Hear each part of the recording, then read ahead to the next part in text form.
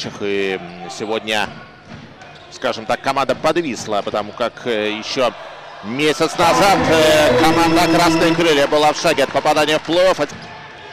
На Гальперина. Какой проход Йотама Гальперина. Затяжной и в правую сторону. Абсолютно точная в этой четверти атака красных крыльев. Алиева с двойка. Опа! Вы посмотрите, как Балашов. И это, между прочим, второй раз.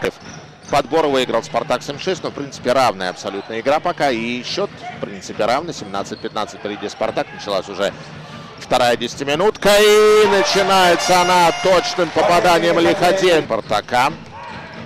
Беверли. И уже во второй раз в сегодняшнем матче проход Беверли. Там еще и свалили на нем.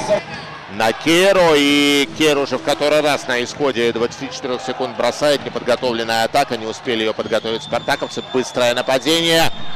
И второй трехочковый. Теперь уже Стоксу надо брать тайм-аут. Спартака дает плоды.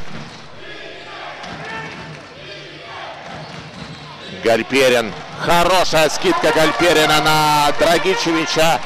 Все на периметре игра. Ну что, Майс идет в проход. И нашел все-таки скидкой. Так, а Спартака в этой 10-минутке. Стрельникс. Попадание. Трехочковое. Плюс 9. Рискованный пас. Хорошо раскидали. Лиходей попадает. Лиходей попадает. Становится на виду с Бевер. Гальперин.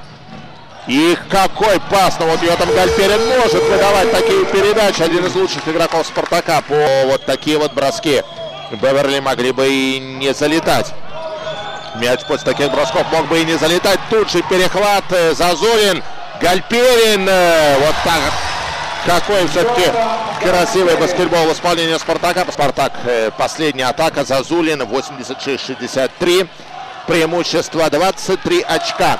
Но первая половина, я напомню, завершилась победа красных крыльев с разницей в одно очко. Таким образом, 24 балла. Спартак на 24 балла набрал больше во второй половине. Великолепный результат. И болельщики аплодируют петербургской команде. Борьба за выход плей-офф у Спартака продолжает.